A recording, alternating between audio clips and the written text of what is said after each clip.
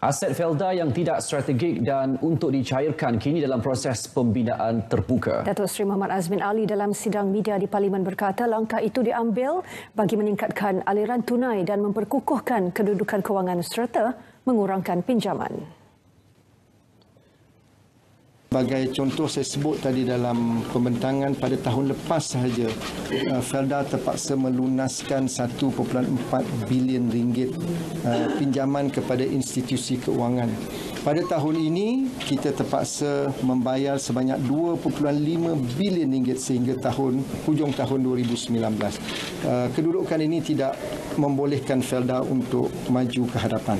Sebab itu kita telah antara cadangan kita pada kerajaan dan saya ucap terima kasih kepada Perdana Menteri yang telah bersetuju untuk memberikan jaminan kerajaan bagi kita menstrukturkan semula pinjaman dengan institusi keuangan. Beliau turut menjelaskan Felda akan menjual balik kepentingan syarikat Indonesia Eagle High Plantation TBK yang dibeli pada harga 2.3 bilion ringgit atas arahan Datuk Seri Najib.